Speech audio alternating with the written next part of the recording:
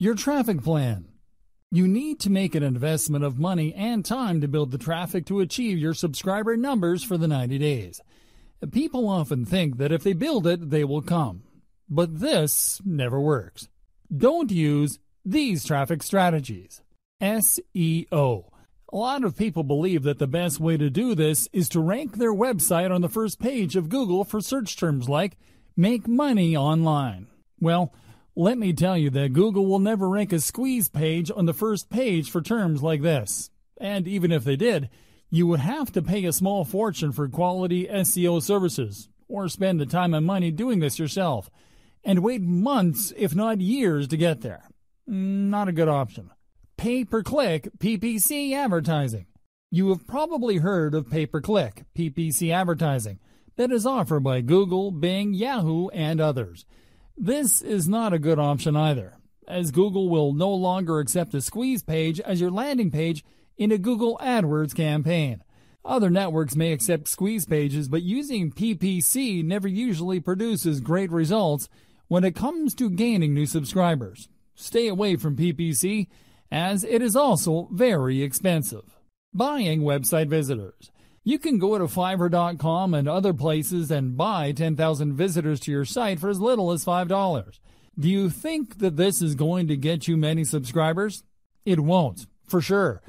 This has been tested in the past, and it simply doesn't work. If you do get any subscribers from this at all, they are unlikely to become buyers as the traffic is too random. Give this one a pass too. These are good traffic strategies. Articles. A lot of people in the internet marketing world will have you believe that writing articles and submitting them to high quality article directories is a waste of time now. Okay, Google fell out of love with article sites some time ago, but it doesn't mean that people do not use them anymore. EzineArticles.com has a global rank of around 6,000 according to Alexa.com, which means that they are still receiving a lot of traffic. Writing articles about making money will bring you some targeted traffic. A few years ago, people used to write substandard articles and publish them on article sites so that they could get a link back for SEO purposes. This doesn't work anymore, but people still read high quality articles. If you don't like writing, then you can easily outsource this to freelancers on the Warrior Forum. You usually get what you pay for with article writing. So if you want your articles to be accepted by the higher quality sites, then they will need to be high quality. It is okay to link to squeeze pages with most of the article sites. Free classified ads. You can create a catchy banner advertisement and post it on free classified sites such as usfreeads.com to try and drive traffic.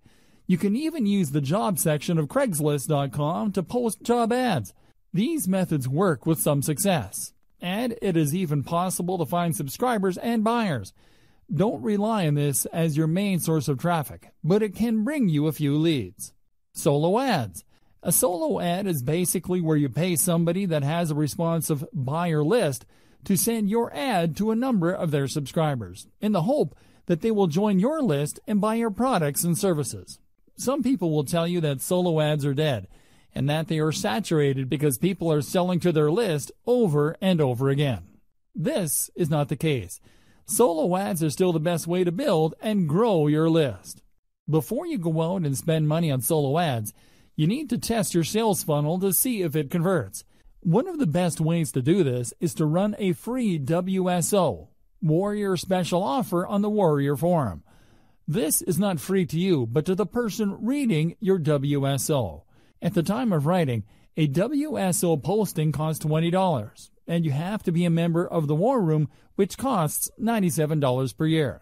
The Warrior Forum is the biggest internet marketing forum in the world, and you will be guaranteed to get traffic to your WSO.